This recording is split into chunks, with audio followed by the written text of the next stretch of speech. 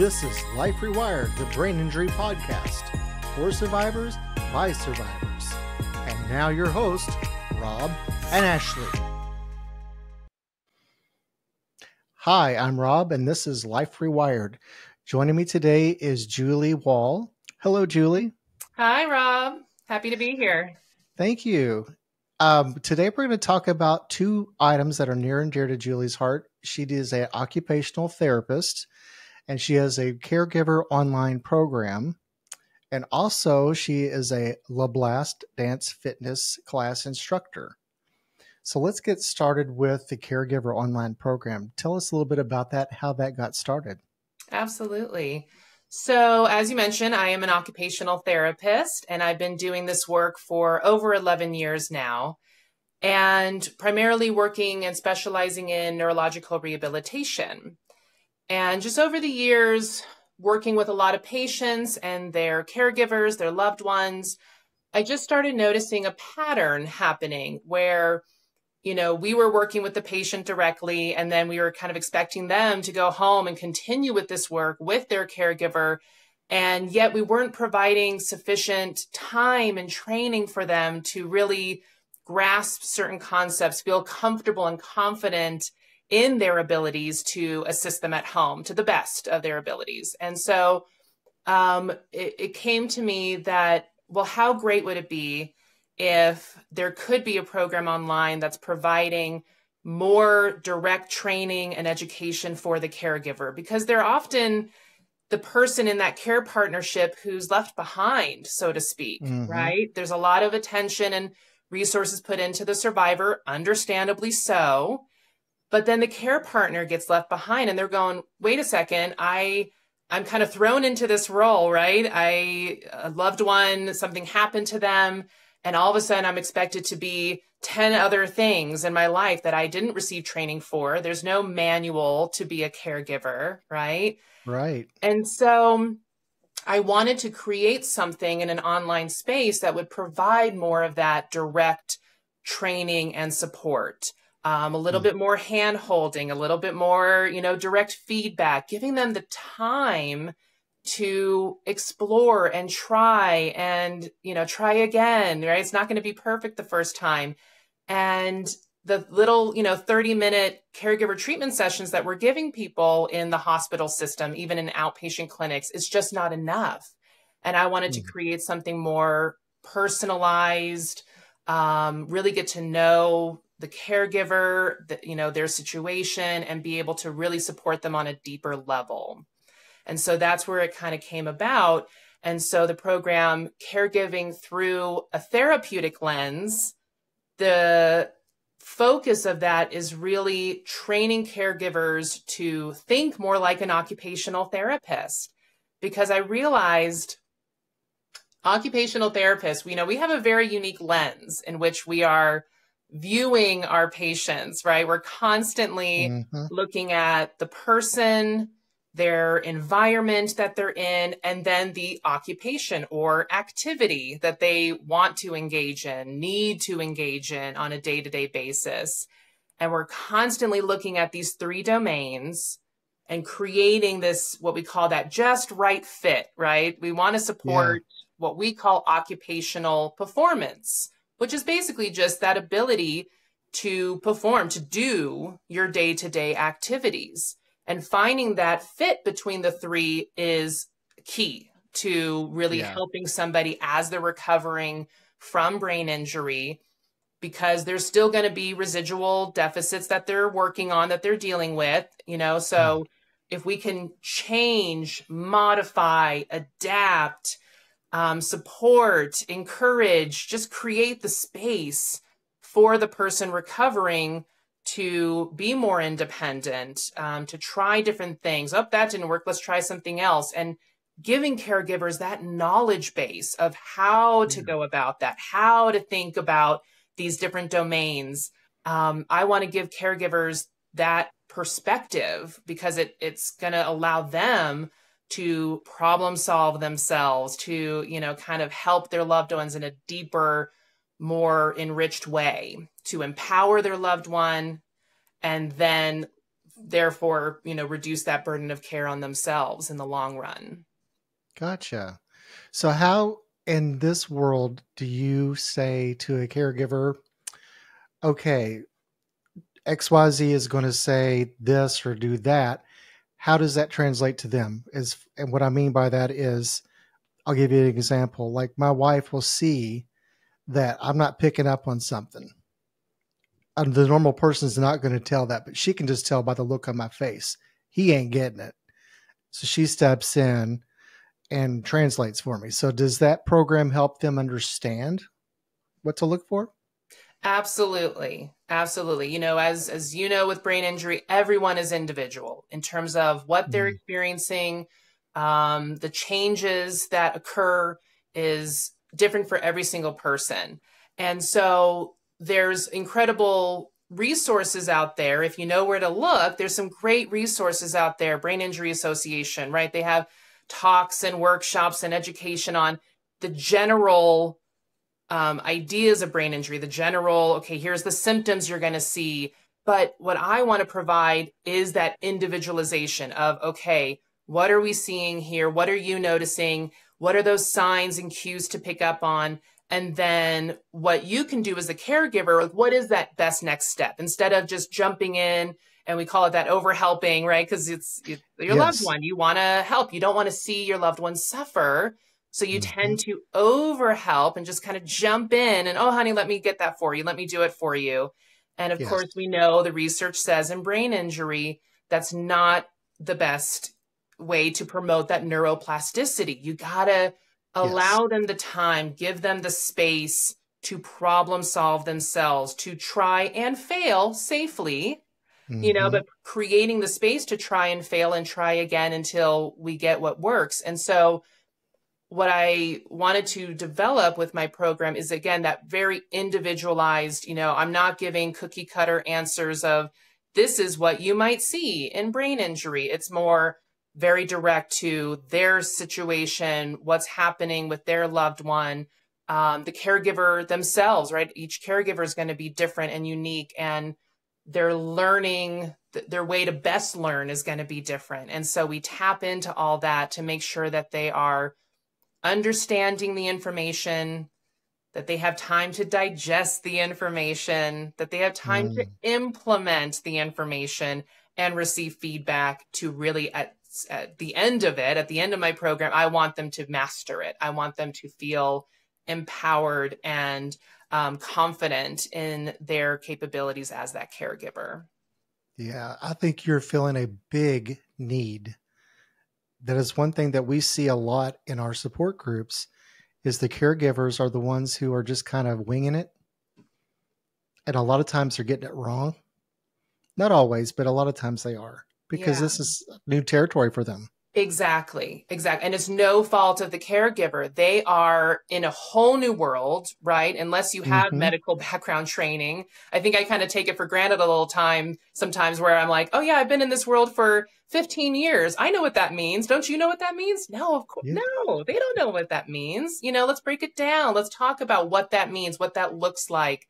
Um, mm-hmm. And yeah, they're they're given so much information, especially at the beginning, right? They're in the hospital, then they go to a yeah. rehab facility, and it's just like information, information. Here's the handouts, mm-hmm. here's the pamphlets, here's where you can go for this, that, and the other. And you can imagine how overwhelming that is. They're already at capacity mentally, physically, emotionally, just by, oh my gosh, my loved one had a brain injury. You know, that's crisis mode, right? We go into crisis right. mode uh, survival mode, and everything else can just kind of go to the wayside for a while. And that makes total sense. And then they're sent home, and then it's like, oh, oh no, I, I don't I don't really know what to do. What what is that first step? What how how do I best help? Maybe someone told me somewhere along the way in one session somewhere, but they're not going to recall that. They're not going to recall those details. And so yeah, I want to be that support for them to go, it's okay. Let's take that breath. Let's right. go over the information that you need that is pertinent to you because some of that information is not going to apply to your situation. And so, yeah, how do you navigate all of that mm-hmm. and really come to an understanding to feel competent, not just like you're floundering. And, you know, I've heard that a lot in talking with caregivers, you know, doing market research for this program and speaking to a lot of caregivers.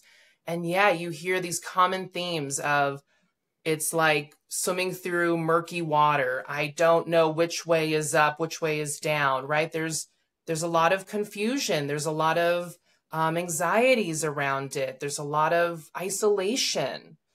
They're, they yes. feel alone in that role. And I want them to know that they're not alone, that mm-hmm. I am here to be with them, to work through what is difficult for them, to guide them in the best way that I can as an occupational therapist, right? I, I don't have the the background of a medical doctor or a psychologist, but in my world of occupational therapy, which is very holistic, and there is absolutely mental health that is brought into our training, um, along oh, with physical yeah. health, and really looking at the person holistically. So we absolutely can tap into all aspects of the human being. Um, That's awesome. But within that scope, you know, it's it's there's a lot that can be done. There's a lot that can be um, given and, and education provided and training provided that is not right now. I love that you cookie, not cookie cutter, but you tailor it to the situation because with the brain injury, there's no two alike. Exactly. We have a lot of commonalities, but everybody is totally different. So that is awesome that you do that. Now, what would one expect, say, when they join your program? Is it like several weeks program? Do you do it weekly, or or how does that how does that look for them to join the program? So within the program, as of right now, and it's still a growing program. So it's a, you know, I kind of think of it as this living, breathing organism that as I have more and more clients, you know, it's really going to be, again, very tailored to what they need. So there's always mm-hmm. flexibility within it. But to really learn something, practice it, implement it, get feedback, and eventually master it, we want to make sure that we're spending enough time on it. We're giving it enough time. And yeah. yet at the same time, I don't want to overload and overwhelm even more than they already are. So currently, the program is a six month program and it gives them that time to trial, to breathe within it. Mm. Um, the intensity can vary based on the person, what they are wanting and what they are needing in the moment. So that's looking at either one one on one session a month or two one on one sessions a month, depending on, again, that intensity needed. But in between hand, in between this, the one-on-one session, there is support. There is communication between us. So I kind of call it the like the OT in your back pocket program. So it's, you know, if something's happening, if you're in crisis or, you know, you kind of go, okay, I know we talked about this one concept or this one thing to try, and I'm not quite understanding. There's absolutely communication ongoing throughout the program where if there's questions that arise, I'm there to assist and answer. And then in addition to the one-on-one sessions, there's also individualized education provided. And that can be in the form of, you know, maybe a handout that's given. Personally, what I prefer is video based education. So if there's mm. something that they want to learn more about and master, then it's, I'm creating video content specifically directly for them to address a specific education piece, a specific area, a specific topic that they can then have, rewatch, oh, okay. go through it with me. So there's that piece as well. It's not just the one on one, but it's also these um, video based education that is individualized for what they need, what they are hoping to um, experience and accomplish throughout the program that way they can go back and rewatch and, and really let it sink in on a deeper level. Yeah, I think that's a really good program to have. I'm excited yeah. for it. It's it's very it's an exciting time and you know along with that I really do want to build this community of caregivers and that taps into the other work that I'm doing with LaBlast Dance and Fitness. Um, I am a certified LaBlast Dance and Fitness instructor I've been dancing since the age of three. It's just something that's always been involved in part of my life. And dance has given so much to me throughout my life. And I feel like dance is a beautiful um, outlet of expression. So hmm. it's an expressive art, right? It allows yeah. us to tap into our own bodies, get back into ourselves and our own bodies, time for ourselves to listen to our bodies. What is it telling us? What does it need? Um, it's a way to express emotion, feelings, you know, whether whether it's anger, frustration, just overall anxieties and stress and worry and you can leave it all out on the dance floor when you do it. You don't have to be a dancer to do it. And that's what I love about La Blast is it's for everybody. Um, there's no experience necessary. It was created by Louis Van Amstel, who's a professional ballroom dancer. You've probably seen him on Dancing with the Stars. If anyone uh, of your listeners watches Dancing with the Stars, and he created these patterns of movement for each style of dance that's very easy to follow along. They call it patternography, not choreography. So you don't have to oh, okay. memorize steps with it. You just, you kind of follow along, you learn these patterns of movement. The more you do it, the more comfortable you get with them. And then you can add more flair and style as much as you want.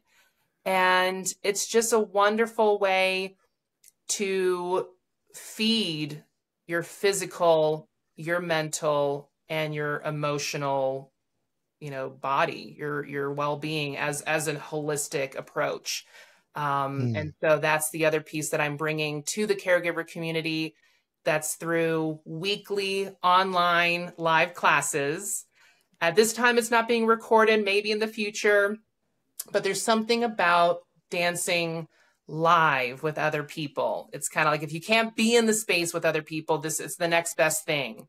Uh, mm. When you're live with somebody, when you know there's other people doing it at the same time as you are, people who have some un- level of understanding of what you're going through, who might be going through something similar, and you're all yeah. there together dancing and expressing and emoting and you know allowing it to be whatever it needs to be for you in that moment and so that's the other um, program that I am developing and bringing on a weekly basis. And every month, the day and time will change slightly. So if any of your listeners are interested, best way is to find me on Facebook, um, Julie OT Living, or to email me julieotliving at gmail. And that way you can be on a list of just getting those updates um, for future classes because it does it does change. I know everyone has a different schedule these days so trying to find a good day and time to you know you know to get everybody involved with that so.